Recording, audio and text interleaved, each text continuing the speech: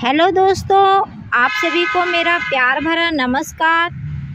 आज मैं आपको बताऊँगी, घर में सबसे शुभ पौधे कौन से होते हैं जो आप लोग लगा सकते हो? दोस्तों, यूँ तो घर में बहुत सारे पौधे लगाए जाते हैं, लेकिन कुछ खास पौधे होते हैं जो घर की सुख शांति के लिए लगाए जाते हैं। ये है दोस्तों, शमी का पौधा, जो शनि महाराज को चढ़ता है, ये घर में सबसे ज़्यादा लगाया जाता है। इसे आप पूर्व दिशा में लगा सकते हो। ये सबसे ही शुभ पौधा होता है। इसके बाद दोस्तों, दूसरे नंबर पे ये तुलसी का पौधा है दोस्तों। ये भी बहुत ही फ़ायदेमंद रहता है और घर की पूर्व दिशा में इसको लगाना चाहिए। ये हमें पूरी तरह से ऑक्सीजन भी देता है और हमारे घर में सुख शांति को भी बनाए रहता है। इसलिए इसको अपने घर में लगाना सबसे ज़रूरी रहता है। और दोस्तों, इसमें पानी सबसे कम ही डालेंगे। अगर छाँव में ये आप पौधा लगाते हैं तो ज़्यादा पानी नहीं डालेंगे। हफ़्ते में दो बार डालेंगे, जिससे आपका पौधा ख़राब नहीं होगा। और आप इसे अपने घर में लगा सकते हो जहाँ भी आप पूजा करते हैं।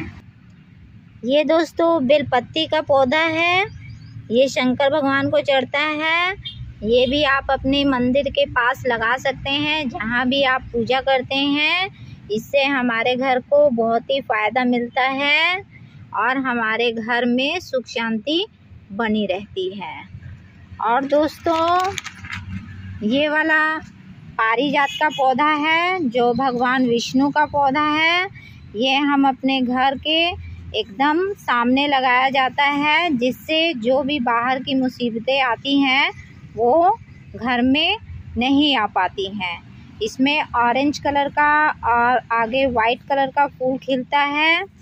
इसका फूल दोस्तों रात को ही खिलता है और रात को ही झड़ जाता है। और गिरा हुआ फूल ही भगवान को चढ़ता है।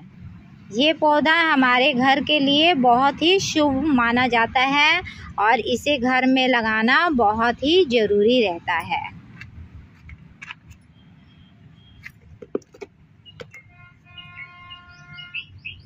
और दोस्तों, ये क्रासुल्ला का पौधा है, जो लक्ष्मी वाला पौधा है।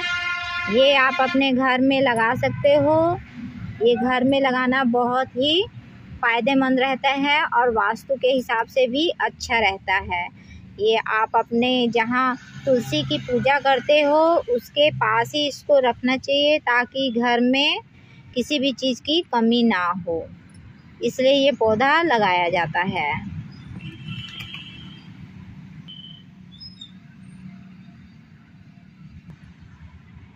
ये केले का पौधा है दोस्तों हाइब्रिड वाला, जिसका हाइट भी छोटा रहेगा और इसे आप गमले में लगा सकते हो, ये ज़्यादा बड़ा नहीं होगा। ये भी हमारे घर के लिए बहुत ही शुभ रहता है।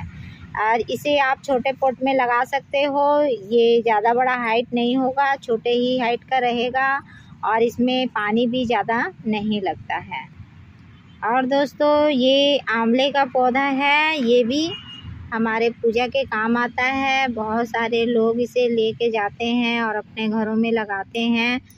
और ये फलता भी है और हमारे पूजा के भी काम आता है। इसलिए दोस्तों, ये भी हमारे घर में एक पौधा होना बहुत ही ज़रूरी है।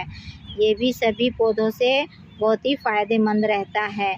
इसका पौधा आप अपने घर में लगाइए। और दोस्तों, ये अपराजिता का पौधा है।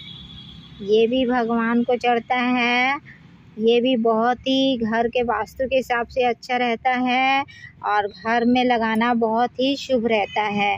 इसे भी आप अपने घर में लगा सकते हो और डेली पूजा के फूल भी निकलेगा और आपके डेली काम भी आएगा।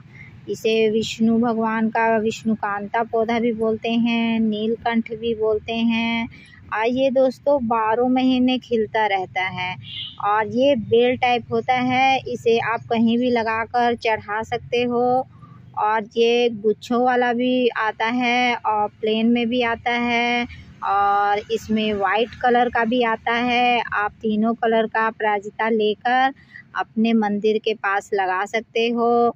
चाहे फिर गमले में लगा लीजिए, चाहे फिर ज़मीन में लगा लीजिए। ये बहुत ही ज़्यादा फूल देता है और इसके फूलों को दोस्तों आप ऐसे खा भी सकते हो। आजकल इसके फूलों से चाय भी बनता है और इसका चाय बना के पीने से भी बहुत फ़ायदा रहता है और ये दोनों तरह के तरीक़ों से यूज़ होता है। आप इसे पूजा में भी काम आता है और आप इसे खा भी सकते हो, मेडिकल में भी काम आता है।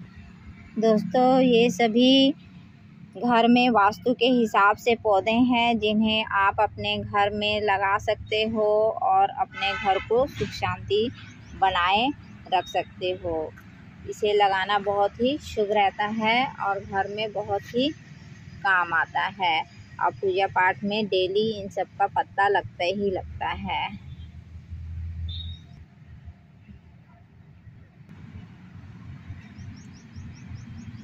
ये तो क्रासुल्ला का पौधा बहुत ही अच्छा रहता है दोस्तों। ये घर में तो लगाना ही चाहिए, इसका बहुत बहुत फ़ायदा है।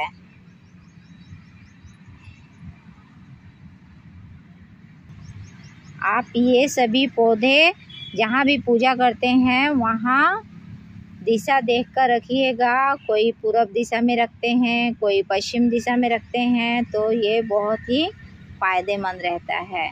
ये सभी पौधे आप अपने घर में लगा सकते हो और इसका अच्छे से देख रेख भी करना पड़ता है ताकि इसमें कोई बीमारी ना लग सके।